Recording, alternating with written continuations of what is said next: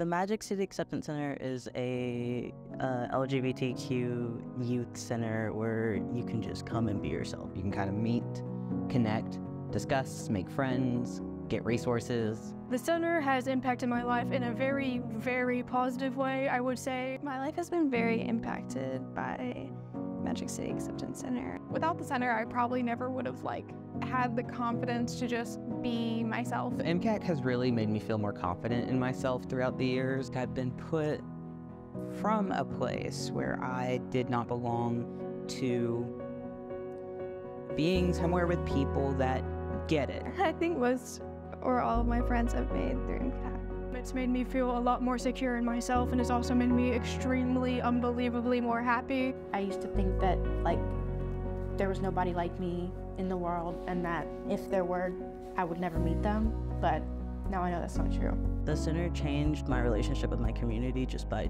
showing me that there is a community in Alabama. The support from like all the staff and everyone here just being like really open-minded has really helped the way I view myself and my confidence. Amanda and Lauren are always there, and Laura. It's like a little family, kind of. These people genuinely care about who comes inside their building, and you will be loved and cared for at MCAC. I feel like Lauren and Amanda have really raised me. They are just such amazing people, and I want to give back to the community in the way that they have. Alabama is a really tough state to live in, but having a place like MCAC where there's other people like you and you see adults who are supporting you, it's like made it where I feel safe. A lot of people don't have a safe place where they can just be themselves, and this provides that.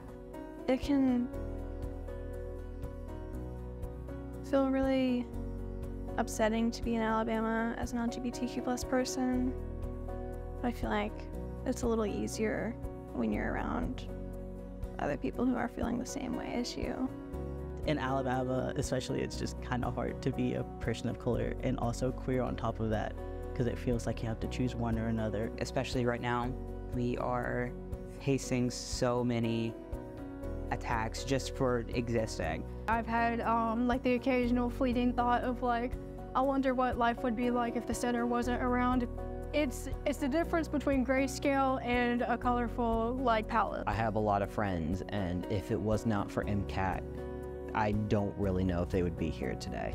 The center just showed me that like you can exist and be queer in Alabama and be happy. Without the center, people like me wouldn't be living openly and honestly and just being happy, you know? And the first thing I was excited about today was I get to go back to the MCAC. I get to get, go back and talk to Amanda, Laura, and Lauren. I just love the center that much.